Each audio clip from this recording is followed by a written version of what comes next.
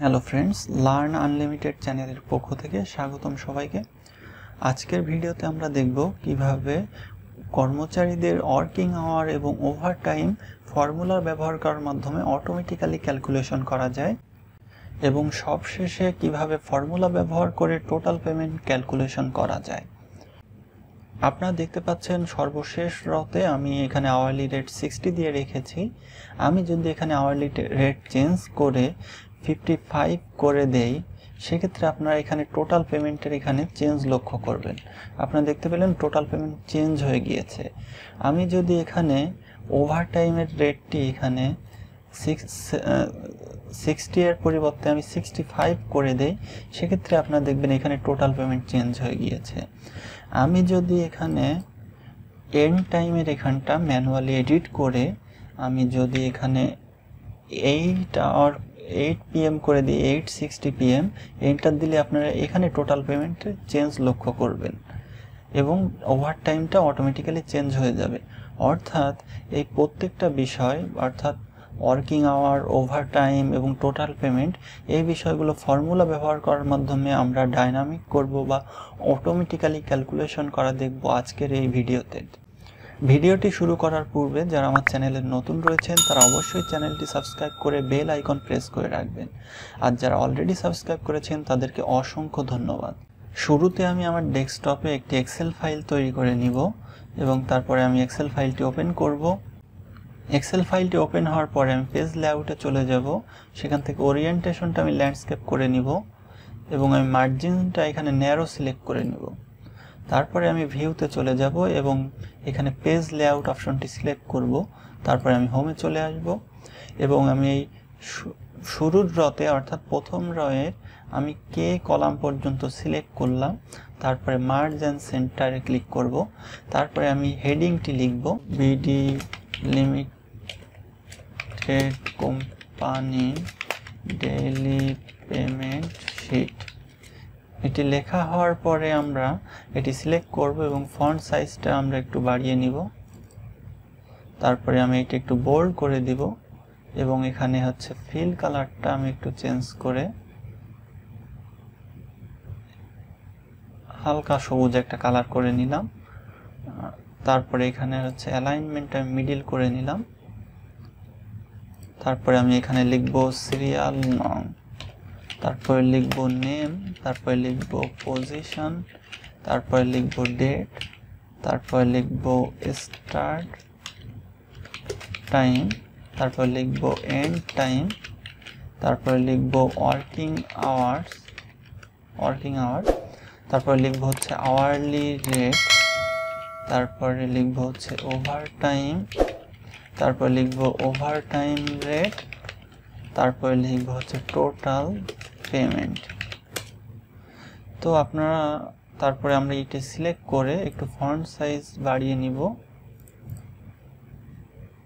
এবং একটু একটু বোল্ড করে নিব। তারপরে ফিল কালার অপশনে যে আমি একটু এই হালকা কালারটা দিয়ে নিচ্ছি।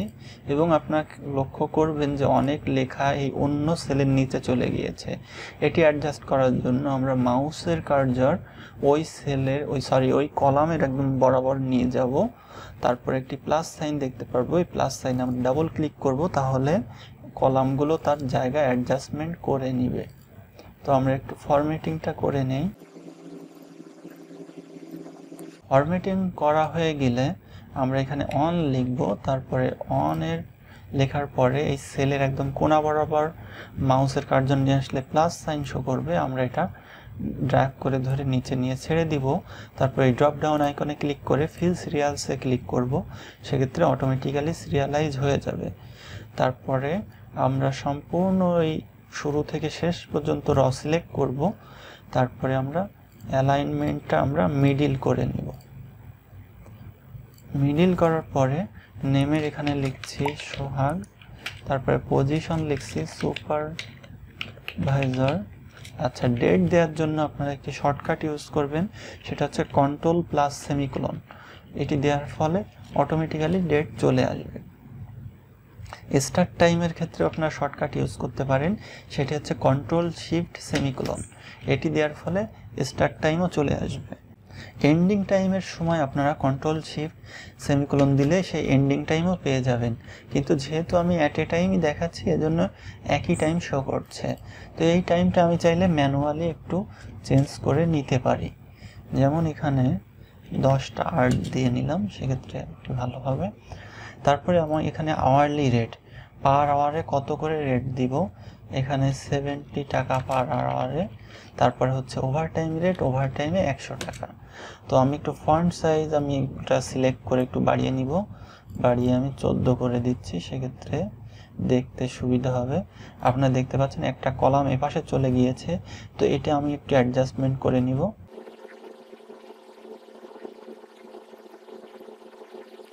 আমি কলামগুলোকে একটু ফরম্যাট করে নিলাম যাতে অন্য পেজে চলে না যায় তারপরে আমরা যেটা করব, আমরা ফর্মুলা ব্যবহার করে এই ওয়ার্কিং আওয়ারটা অটোমেটিক্যালি ক্যালকুলেশন করব।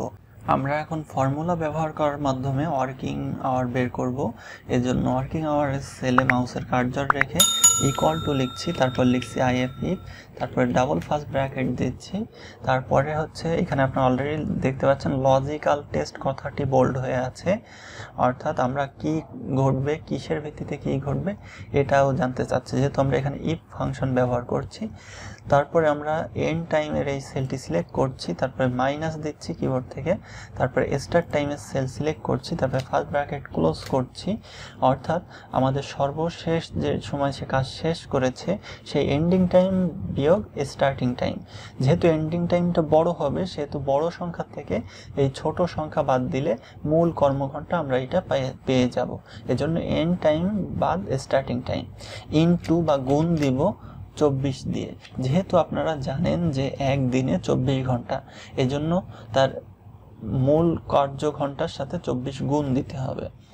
তো এই জন্য এন্ড টাইম বিয়োগ স্টার্টিং টাইম ইন্টু চব্বিশ গেটার দেন সাইন দিব গেটার দেন সাইন দিয়ে এবার হচ্ছে আমরা বেসিক ওয়ার্কিং আওয়ার দিব। আমরা বেসিক ওয়ার্কিং আওয়ার ধরেছি এইট আওয়ার্স যেহেতু আপনারা জানেন, পৃথিবীর বেশিরভাগ দেশেই মূলত বেসিক কর্মঘণ্টা হচ্ছে এইট আওয়ার্স কিন্তু আপনারা যদি আপনাদের কর্মচারীদেরকে দশ ঘণ্টা বা বারো ঘণ্টা বেসিক ওয়ার্কিং আওয়ার হিসেবে ধরতে চান, সেক্ষেত্রে আপনারা এখানে গেটার দেন সাইনের পরে টেন টুয়েলভ আপনাদের বেসিক ওয়ার্কিং আওয়ার আপনারা দিবেন। তারপরে আমরা কমা দিব। কমা দিলে আপনারা দেখতে পাচ্ছেন ভ্যালু ইফ ট্রু এই লেখাটি বোল্ড হয়ে আছে। অর্থাৎ এই ফাংশন বা এই যুক্তিটা যদি সত্য হয়, সেক্ষেত্রে কি হবে? সেক্ষেত্রে আমরা এইট দিব। যেহেতু আমরা বেসিক ওয়ার্কিং আওয়ার এইট ধরেছি, সুতরাং এখানে কর্মঘণ্টা যদি আটের বেশি হয় সেক্ষেত্রে আমরা চাচ্ছি এই সেলে সে বেসিক কর্মঘণ্টা বা বেসিক টাইমটুকুই থাকবে। আর আট ঘণ্টার বেশি টাইমটা বা ওভার টাইমটা ওভার টাইমের কলামে চলে যাবে। এজন্য আমরা এইট দিব এইট দেওয়ার পর একটা কমা দিব। কমা দিলে আপনারা দেখতে পাচ্ছেন এখানে লেখা দেখাচ্ছে ভ্যালু ইফ ফলস অর্থাৎ এই কর্মঘণ্টাটা যদি আট ঘণ্টার কম হয়, সেক্ষেত্রে কি করব? সেক্ষেত্রে কি হবে? সেটি এখন লিখতে হবে। তো আমরা চাচ্ছি যে যদি কম হয়, সেক্ষেত্রে যে কয় ঘণ্টা হয়, আট ঘণ্টার কম, সেটি এখানে বসে যাবে। তো এই জন্য আমরা আবার ফার্স্ট ব্র্যাকেট দিব। তারপরে হচ্ছে আমরা এন টাইমের সেলটি সিলেক্ট করব। তো যেহেতু এখানে সিলেক্ট করার অপশন পাচ্ছি না, তো আমি ম্যানুয়ালি লিখে দিচ্ছি এফ থ্রি।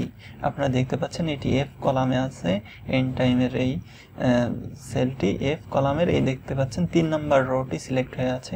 এজন্য column number F cell number three তো আমি এখানে এফ থ্রি দিয়েছি মাইনাস তারপরে এন টাইমের সেল মাইনাস স্টার্ট টাইমের সেল তো এখানে সিলেক্ট করার অপশন আছে এর জন্য স্টার্ট টাইমের সেলটি সিলেক্ট করলাম। তারপরে ফার্স্ট ব্র্যাকেট ক্লোজ করব, তারপরে মূল ইফ ফর্ম ফর্মুলার ফার্স্ট ব্র্যাকেটটি ক্লোজ করে দিব।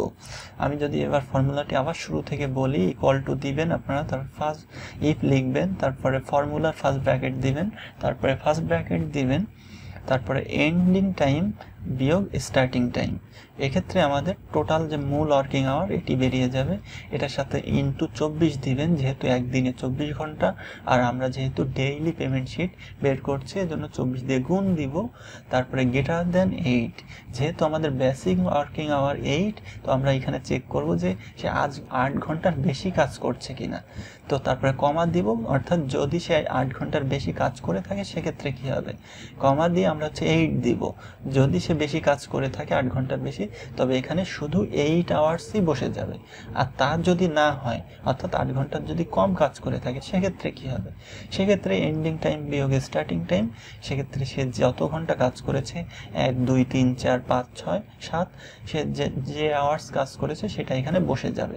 তো আমরা যদি এখন কিবোর্ড থেকে এন্টার দেই, সেক্ষেত্রে দেখতে পাচ্ছেন এইট আওয়ার্স অর্থাৎ সে বেসিক যে ওয়ার্কিং আওয়ার এইট আওয়ার তার থেকেও বেশি কাজ করেছে এই জন্যই এখানে এইট আওয়ার্স অটোমেটিক্যালি বসে গিয়েছে। আমরা এখন ওভার টাইম ক্যালকুলেশন করব, এর জন্য ওভার টাইমের সেলে মাউসের কার্জার রেখে কিবোর্ড থেকে ইকুয়াল টু দিব, তারপরে কিবোর্ড থেকে ইফ লিখব, তারপর ডাবল ফার্স্ট ব্র্যাকেট দিব, তারপর এন্ড টাইমের সেলটি সিলেক্ট করব মাইনাস দিব স্টার্টিং টাইম সিলেক্ট করব, তারপর ফার্স্ট ব্র্যাকেট ক্লোজ করে ইনটু বা গুণ দিব চব্বিশ।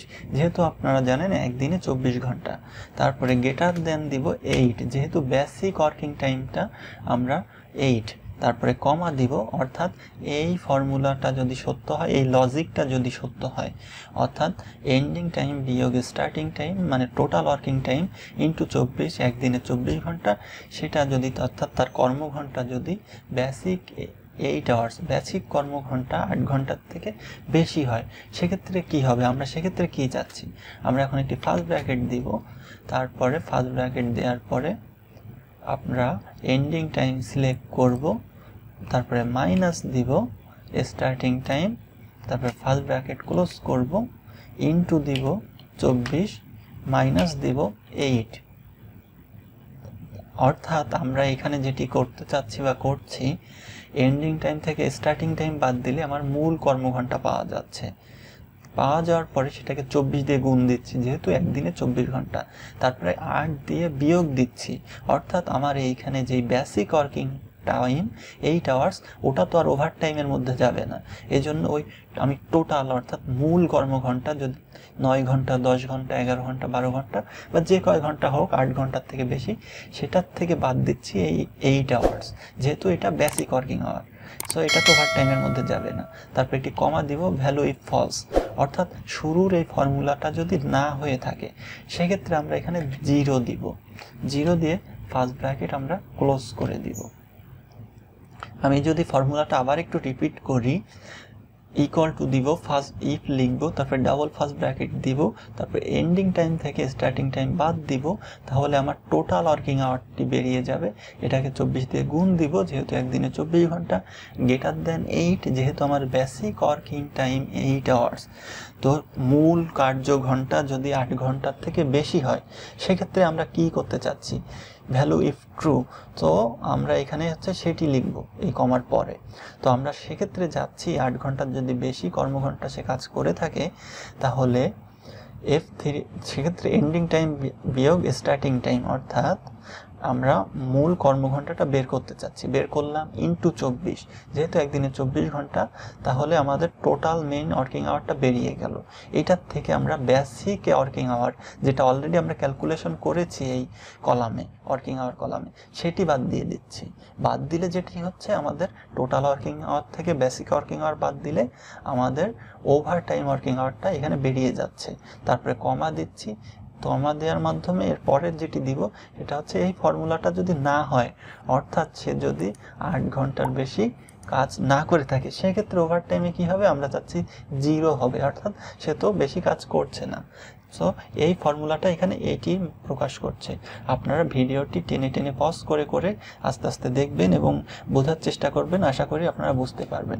তো আমি এখন কিবোর্ড থেকে এন্টার দিই দিচ্ছি এন্টার দেওয়ার পরে আপনারা দেখতে পাচ্ছেন ওভারটাইম টু আওয়ার্স শো করছে। এখন আমরা টোটাল পেমেন্টটা ক্যালকুলেশন করব ফর্মুলার মাধ্যমে, যেটি অত্যন্ত সহজ। তো এই জন্য আমি এই টোটাল পেমেন্টের সেলে মাউসের কার্ডর রাখছি, তারপর কিবোর্ড থেকে ইকুয়াল টু দিচ্ছি, তারপর ওয়ার্কিং আওয়ারের সেলটি সিলেক্ট করছি, গুণ দিচ্ছি বা ইনটু দিচ্ছি আওয়ারলি রেট দিয়ে। তারপরে প্লাস দিচ্ছি, তারপরে ওভার টাইমের সেলটি সিলেক্ট করছি ইনটু বা গুণ দিচ্ছি ওভার টাইমের রেট দিয়ে। তারপরে আমি কিবোর্ড থেকে এন্টার দিচ্ছি, তাহলে তার টোটাল পেমেন্টটি বেরিয়ে যাচ্ছে। আপনাদের দেখানোর সুবিধার জন্য এবং ভিডিও লেন্স ছোট করার জন্য আমি কিছু ডামি ডাটা বসিয়ে নিয়েছি এবং তারপরে হচ্ছে আমি এখানে আওয়ারলি রেটগুলো একটু ডামি দিয়ে নিচ্ছি।